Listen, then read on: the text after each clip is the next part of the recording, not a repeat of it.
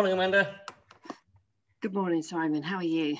Very well. How's the weather in the UK?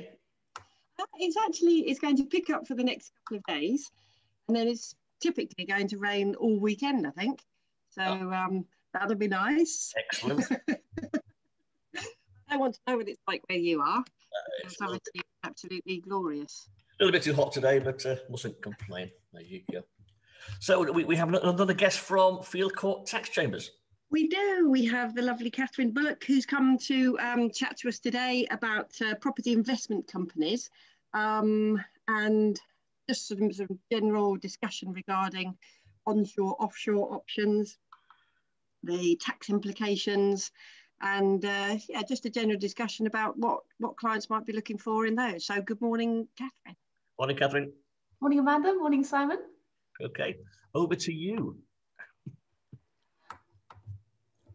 Um, so, so Simon, I thought uh, what it might be interesting to talk about this morning was something I'm seeing in practice quite a bit at the moment, um, which is people who have set up um, property investment businesses in the past um, using an offshore company to hold their UK properties. And who are now wondering, because we've seen so many changes in um, how land is taxed, whether or not they should bring those companies on shore. Um, sometimes they own the companies personally, and sometimes they own them through an offshore trust. Um, and, and I think if, they, if the tax position is neutral, then there can be quite a lot of advantages in being able to operate your company uh, onshore. Yep. Uh, I suppose the most obvious one is costs. There's all the costs of running an offshore company, um, but also uh, you know, people like to have control of the company. They like the convenience of being able to exercise that control without having to fly abroad for directors' meetings and be very careful to ensure that the control of their company is happening offshore. Um, and most recently, I've seen some banks saying that they are nervous about providing funding to offshore companies and they would prefer to provide that funding to UK companies. Okay. I think I think that that that, that funding point is um, is is quite an interesting one actually because I think even for sort of general domestic, if you'd like to buy a property in Germany or if you'd like to buy a property in the Netherlands or somewhere, I think lenders are really hugely restricting. Whereas they used to have international uh, lending and portfolios, I think they've really that's contracted considerably. That, that, um, I think the lending point is is a very big one. I, I, am seeing that a lot more now, where people are looking to in, increase their UK property portfolio, whether commercial or residential, and obtaining that borrowing if your company is, you know, in the British Virgin Islands or wherever it ca can be, can be more difficult. Yeah. Um, yeah, and also we've noticed also even opening a bank account in the UK uh, for a company if it's if it's held just by um, a holding company, a very simple structure. The banks are saying, well, we're not lend, we're not going to lend to you. Um, open a bank account is difficult, so most of our clients now have gone to Starling Bank or Tide Bank because the high street banks are just saying no. Hmm. Um, so it's, it's very strange. And you have similar difficulty with trusts. So you know the complexities. I think, particularly if there is no particular tax advantage, you know, can perhaps weigh weigh in that favour of well, why don't I just bring this this all on shore now? Um, and, and I think if you look through the main taxes, um, in, a, in a lot of scenarios, you know, the, the tax is now evenly balanced. If you take capital gains tax, for example, it used to be the case that if you were a non-resident individual or a non-resident company, you wouldn't pay capital gains tax on a sale of UK property or the sale of a company that held UK property. But now, effectively as of 2019, um, it's a level playing field, isn't it? Um, I, I, I, except for uh, the, the rebasing, so the fact that uh, if you're an offshore company, you'll only pay capital gains tax from the point at which the law changed. So if it's uh, commercial land, 6th of April 2019. Um, but, but it's interesting that in the case of companies, but not individuals, just for companies, if a company becomes UK resident, it doesn't lose that advantage of rebasing. Um, so it still won't have to pay tax on any gains up to 2015 or 2019, depending on whether it's residential or commercial property, which I think is a is an interesting advantage that's sometimes overlooked. Yes. Um, and and then uh, I guess there's nuances around the anti-avoidance legislation and whether actually if you came onshore you might even put yourself in a in a better situation. So capital gains tax probably neutral or slightly advantageous for a UK structure. Yep. Um, I know that, that you guys have spent a bit of time looking at um, SDLT already, but you know I think there's sort of pros and cons there, aren't there? If if yeah. you're a non-resident company, you've got the two percent uh, non-resident uh, surcharge now if your if your company is acquisitive.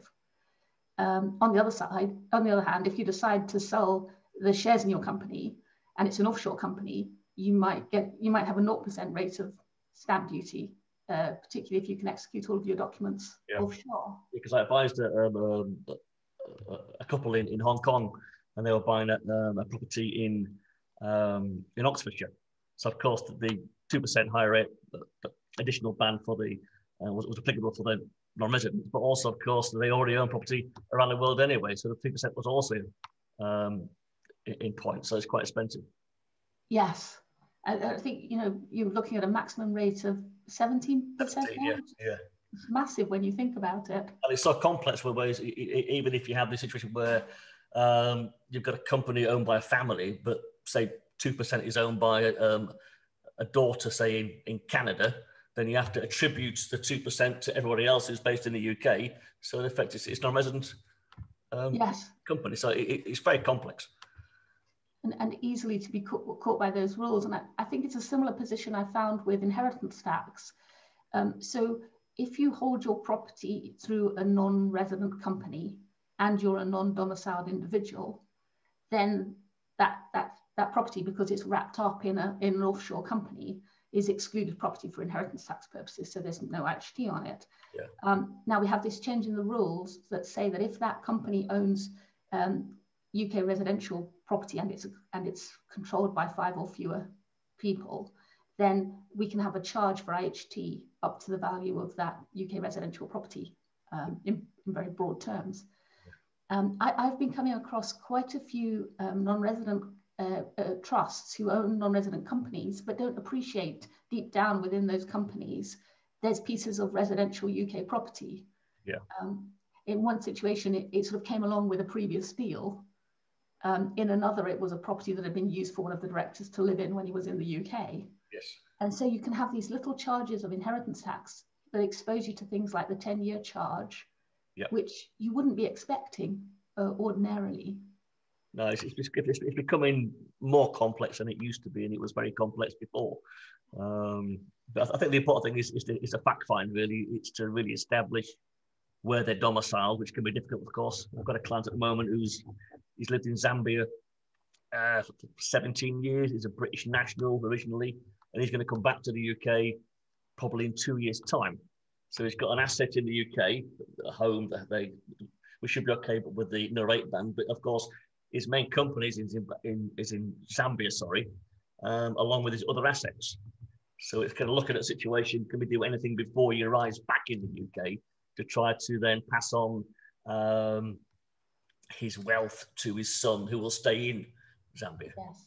So. It's, it's, it's really important, isn't it, to understand the actual circumstances and the history of these structures in order to identify the right thing to do and what the planning opportunities yeah. actually are. Yeah. Um, so where, for example, somebody's um, got a private trust company, say that they've got based out of Jersey or Guernsey, um, and they're perhaps done it under one of those jurisdictions for one of the points you made right at the very beginning is that they want an element of control, which is obviously um, possible within those jurisdictions. So where they've got property portfolios as well with effectively onshore residential properties, they're going to get, you know, if they're buying, as you say, if they're buying portfolios that happens to have something residential in the UK, they're going to be caught. I, I think that's right. If you have, if the trust is an excluded property trust, so it's yeah. established by a non-domiciled individual, it's not expected yeah. to pay inheritance tax. But but like you say, it's acquired a say a property holding company and that holds properties that have elements of UK residential property, then I think there is there is a risk that they have an IHT exposure, which yeah. if you're an offshore trustee, you may not be expecting. You're a UK person, you wouldn't expect it either.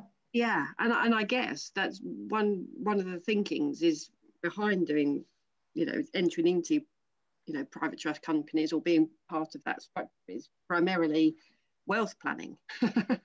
yes, so I think it's very careful, very important to be careful. Yeah. That, that these new rules aren't potentially introducing an exposure, um, and that needs to be managed. Where there is an exposure, there's going to be little benefit in being offshore. Yeah.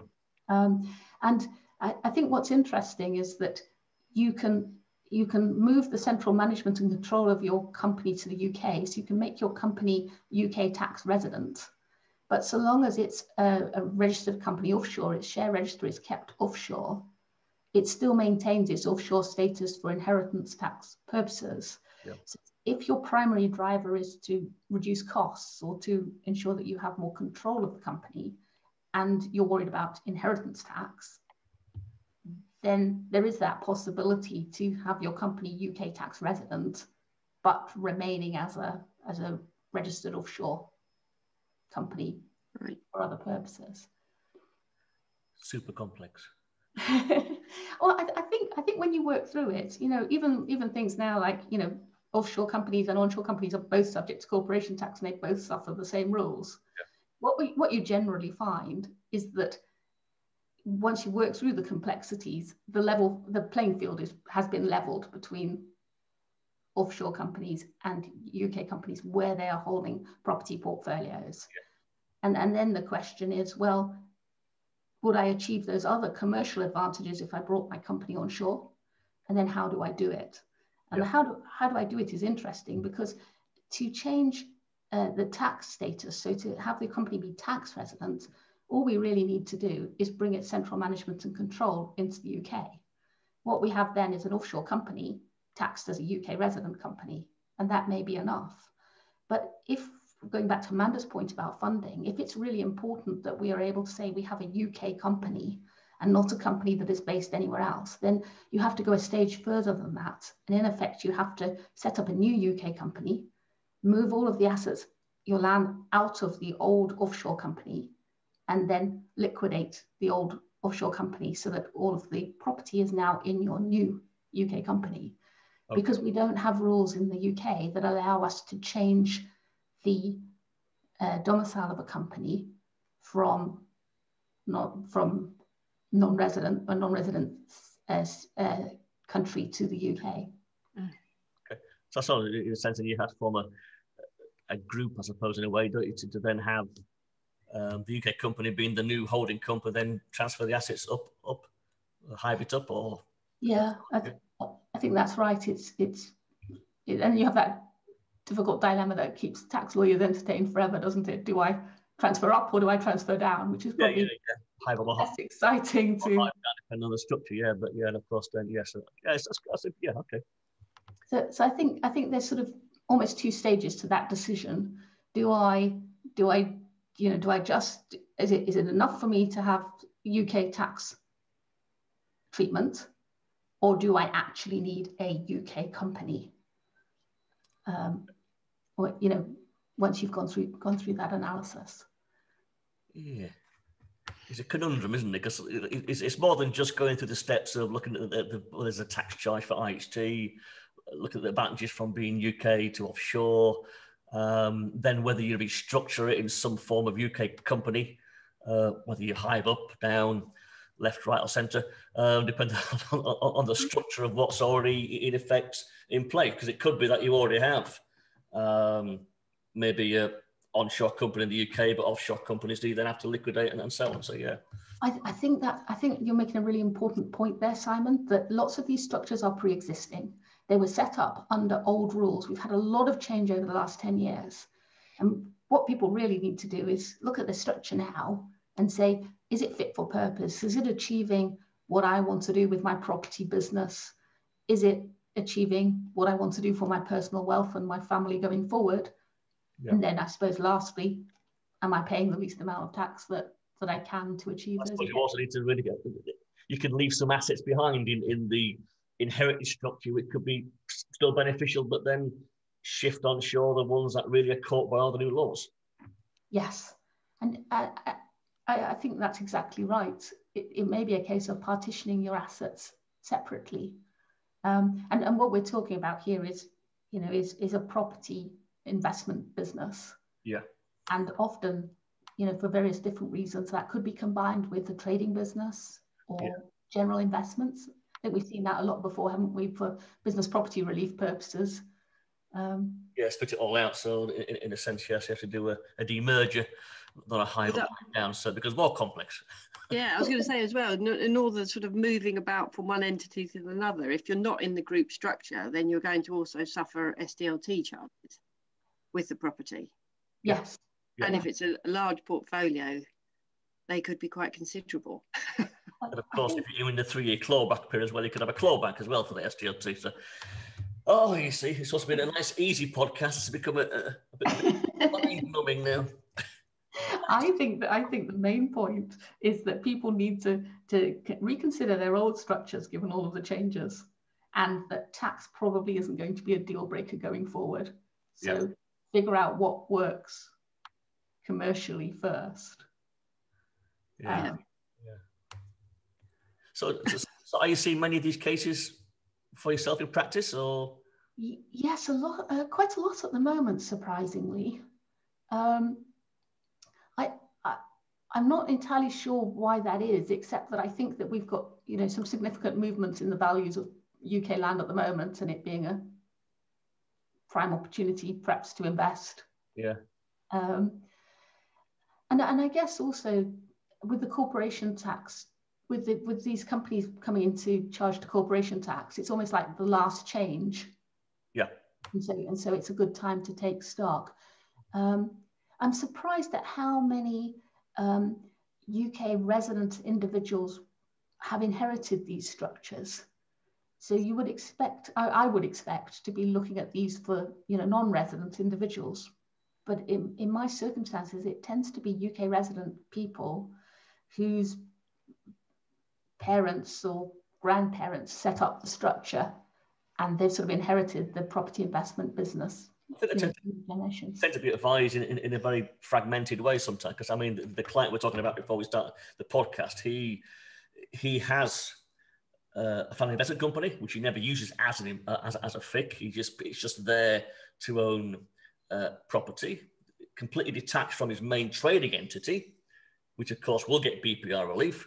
Yes. Therefore, just simply making a, a simple group in the UK you could shelter these properties, but that they just deal with fragmented advice. They never look at things, in my experience anyway, in a holistic manner.